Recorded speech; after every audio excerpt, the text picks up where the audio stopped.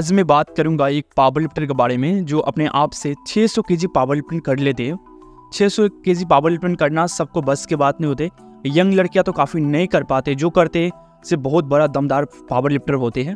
और ये अपने आप से अपनी फिटनेस की जर्नी काफ़ी ज़्यादा पहले चालू कर दिए थे ये अपने आप से प्रो प्रो कार्ड है। और अपने आप से पावर लिफ्टिंग की दुनिया में प्रो है। अपने आप से फिटनेस की ज़्यादा ये एग्री करते हैं, अपनी सोशल यंग है और यंग एज में अपनी थर्टी प्लस एज इसकी हो गई थर्टी के लमसम इसकी एज है। मगर पावर लिफ्टिंग बेस्ट करते हैं और अम्बल हांसन इसकी निक नेम है और इसलिए शायद यूएस से बिलोंग करते हैं और अपने आप से फिटनेस भी काफ़ी ज़्यादा सख्त है, अपने बॉडी बिल्डिंग की दुनिया में काफ़ी एग्री करते हैं।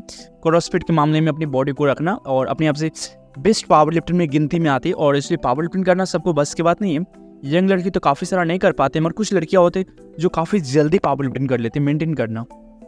तो हम्बर हानसन एक पावर लिफ्टर बेस्ट होते हैं, जो अपनी फिटनेस की जर्नी काफ़ी स्ट्रॉन्ग तरह से होते हैं, जो अपने आप से काफ़ी ज़्यादा सख्त माना जाता है। और इसलिए सब पावर लिफ्टर अपनी एज एक एज में अपनी पावर लिफ्टिंग करने नहीं चाहते और इसलिए कुछ कर पाते। अपनी पावर लिफ्टिंग की वजह से सब जन अपनी मेंटेन करते, अच्छे बॉडी बना पाते, अच्छे बॉडी मेंटेन करना सबको बस की बात है।